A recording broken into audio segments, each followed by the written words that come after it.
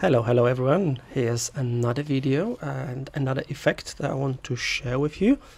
And this time we're going to create something like this.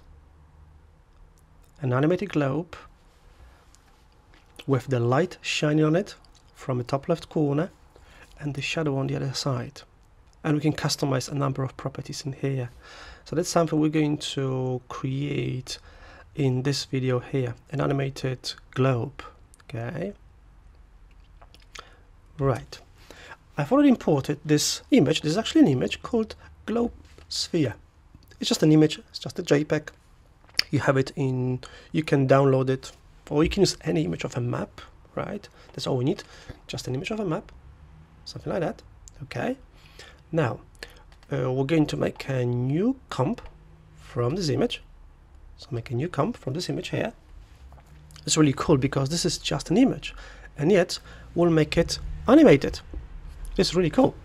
Okay, now the effect we're looking for is called CC Sphere effect. So the effect we're looking for here is a CC Sphere effect. So I'm going to go to effects panel, I'll just type in SPH, and we have the CC Sphere under perspective. Oh, so you can just go effect, perspective. Now mine is grayed out. As you know, because the layer isn't selected. So I select the layer, I go Effect, Perspective, and CC Sphere in here. Okay. This is going to create this like uh, this by default. There's no animation yet here. It's just an image wrapped around the sphere. But now we're going to do all the magic in the effect controls panel here.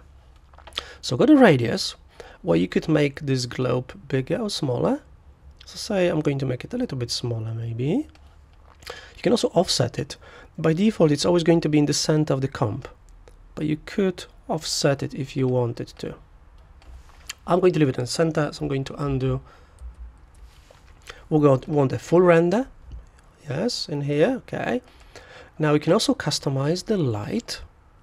So got light intensity, you can make it more intense or less intense. I think I'm going to leave it 100%, it was just fine. you could change the light color. But we can also change the line light height. So I'm going to reduce the value here a little bit.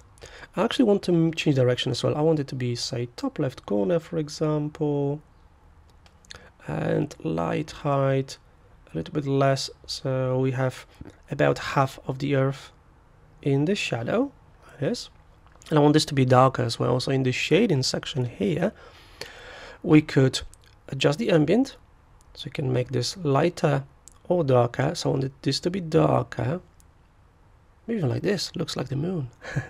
So keep it this was I think was 10 by default. So if we take it down a bit just to make it darker it's about 7 maybe or 6 there we go We've got diffuse here as well on the lighter part, which I'm going to keep.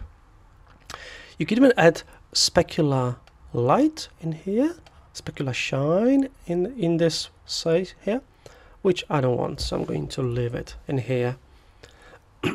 and you can adjust the roughness as well, so you could do like say maybe a bit higher, so be a bit more roughness in this section here, and the metal, what makes this softer okay I'm going to leave it as it is. And now we want to animate it of course. So go to the top we go to rotation and I want to animate the rotation. I want to animate it on the y-axis because I wanted to do this rotate like that okay. So I'm going to keep the playhead at the beginning set a keyframe for rotation y okay and go all the way to the end with the end key. And say I'm going to give it just one full rotation to make it rotate quite slowly. So if I play it it's just slowly rotating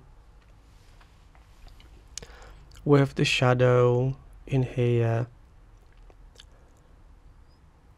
and that's something really cool that I wanted to share with you in this video here for this really nice globe sphere animation with our earth spin around. And all we used was just an image just a JPEG image. And we made it into an animated uh, globe. So enjoy, have a fun, explore,